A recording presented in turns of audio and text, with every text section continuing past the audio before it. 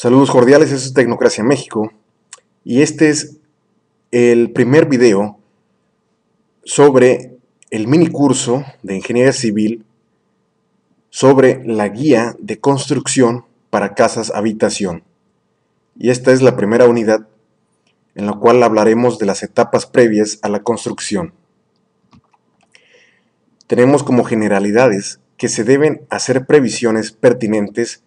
para obtener las mejores características de calidad, comodidad y economía antes de iniciar cualquier construcción, puesto que considerar dichos detalles durante la construcción puede ser contraproducente o simplemente no podrá ser posible debido a impedimentos de diversos factores. Las características de los habitantes siempre deben ser factores importantes a tomar en cuenta para toda construcción de vivienda. El número de miembros de la familia, sus hábitos, sus gustos, y las necesidades cambiantes de la familia a lo largo del tiempo son algunos de estos factores. Los elementos de una casa y sus dimensiones mínimas recomendables para una vivienda económica son las siguientes según el reglamento de construcción del municipio del centro del estado de Tabasco en México. La clasificación de vivienda mínima debe ser de un área de 24 metros cuadrados sin embargo, según algunos colegas ingenieros, arquitectos y constructores, e incluso autores de libros sobre manuales de, autoconstrucción, esto, estas medidas o esta área mínima no es éticamente profesional, por así llamarlo, ya que disminuye la comodidad, la calidad de vida y todas aquellas características que hacen de una, una vivienda o dignifican vivir en una casa habitación. Es eh, pues esto, esta área no llega ni siquiera a los 5 por 5 metros, como vemos. Según las normas técnicas complementarias para proyecto arquitectónico del Distrito Federal en México, en el capítulo 2, Habitabilidad, Accesibilidad y Funcionamiento, nos habla que las dimensiones y características mínimas de los locales en las edificaciones deben ser para las casa-habitación de tipo vivienda unifamiliar y plurifamiliar, debe tener un área mínima de en metros cuadrados de 7 metros cuadrados para la recámara principal, de 6 metros cuadrados para las recámaras adicionales, la alcoba, cuartos de servicio y otros espacios habitables. 730 metros cuadrados para sala o estancia, 6.30 metros cuadrados para el comedor y 13 metros cuadrados para la sala comedor. Y como vemos, si sumamos las áreas, un área por cada local, eh, imaginando que una vivienda unifamiliar lleva todas estas estos locales, es decir, la sala, el comedor, la recámara, una recámara adicional y una recámara principal, pues sencillamente eh, es mayor a la al área, al área de la, del reglamento de construcción del estado de Tabasco, posiblemente debido a que mientras que en el estado de en el estado de Tabasco, perdón, y también en muchos otros estados, prácticamente los estados del sur de México, eh, las condiciones económicas son precarias y no se tienen, por, ende, la, mayoría de las familias no tienen eh, cómo pagar una casa de mayor envergadura, por así decirle, por tal motivo que el mínimo que, que existe, la mínima área, perdón, que existe dentro del reglamento de la construcción en el estado de Tabasco es de 24 metros cuadrados, sin embargo, como he mencionado anteriormente, eh, pues se eh, hay detrimento en, la calidad en, la calidad de vida para cualquier familia con, esas, con esa área mínima. Sin embargo, pues es obvio que muchas personas en pobreza y en extrema pobreza piensen que es mejor tener eso a no tener nada. Y es más que obvio que ellos lo aceptan, o al menos una buena mayoría lo aceptaría. Eh, los elementos que debe llevar desde nuestro criterio como ingenieros, como arquitectos, debería de llevar una casa habitación o toda casa habitación eh, mínima, debería llevar una recámara para los padres, una recámara para los hijos, una recámara para las hijas, una cocina independiente con estufa y fregadero, un baño con excusado y regadera, un comedor, una sala y un lavadero y patio de servicio. Las recámaras, sus dimensiones mínimas aceptables deberían ser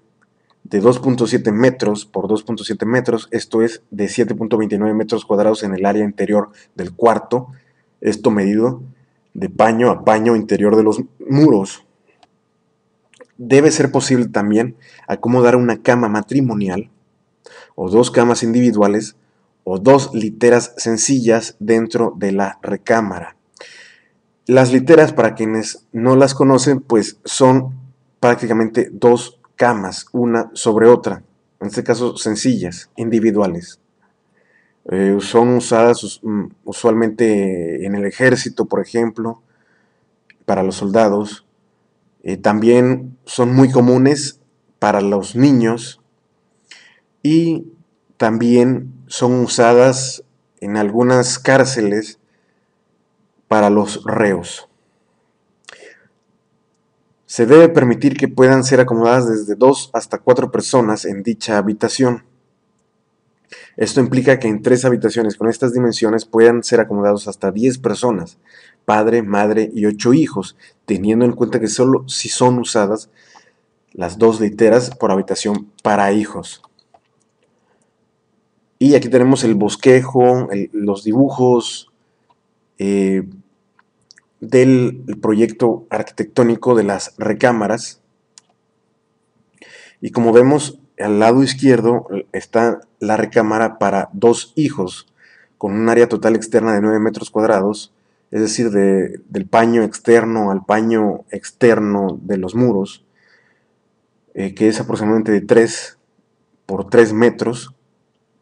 y un área total interna de 7.29 metros cuadrados que como dijimos es de 2.7 por 2.7 metros de paño interno a paño interno de los muros. Y bueno, aquí eh, como observamos eh, se le puso, o, bueno, le puse una medida estándar de 0.15 metros eh, de, de espesor para los muros y los las camas, los muebles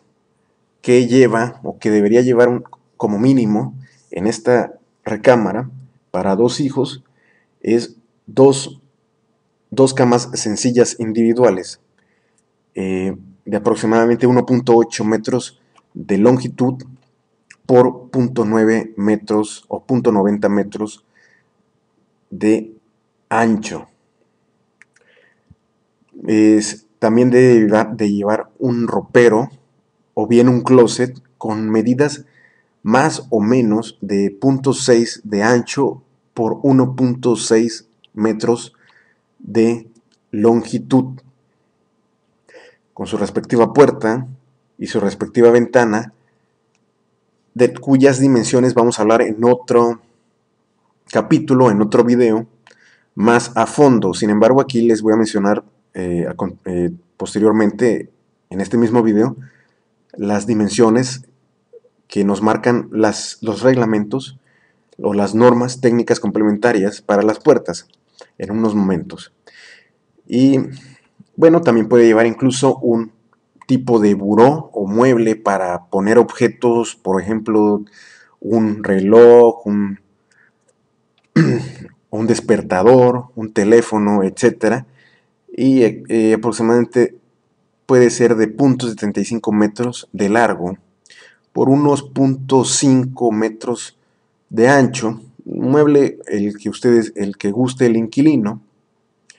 En realidad los muebles eh, pueden ser a, gusto del, del comprador, del que va a habitar la casa. Sin embargo, aquí se hace este bosquejo como medidas aproximadas o promedio mínimo eh,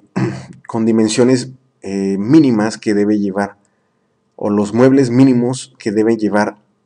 esta recámara así como la recámara que vemos a nuestra derecha que es la recámara principal que es la recámara para los padres o jefes de familia